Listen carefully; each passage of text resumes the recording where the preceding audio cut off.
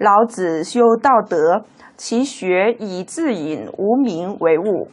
老子他的道德学问都非常的好，他不求闻达，不喜欢出名。居周久之，见周之衰，乃遂去治官。他在周朝住了很久，当一个类似图书馆馆长的职务。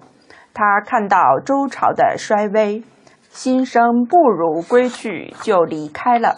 离开以后，经过函谷关。函谷关在哪里呢？函谷关在陕州桃林县西南十二里。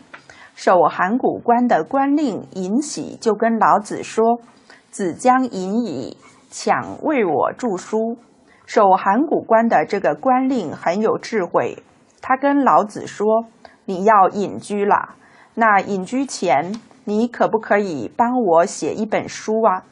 于是老子乃写了《道德经》上下两篇给尹喜，总共五千余字，莫知其所终。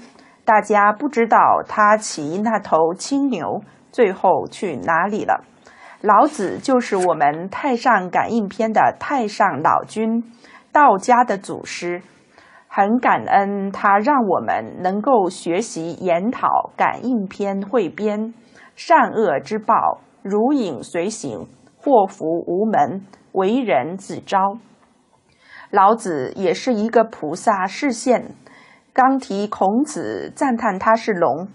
以前净空老法师在修学的时候问李师公说：“孔子、孟子跟老子这些儒道的圣贤是不是菩萨再来的？”因为那时候佛教还没有到中国来，佛教是在东汉明帝永平十年传过来的。孔子、孟子跟老子生在周朝。那时候中国没有佛教，但是周朝的史官已经观天象，知道西方有圣人诞生了。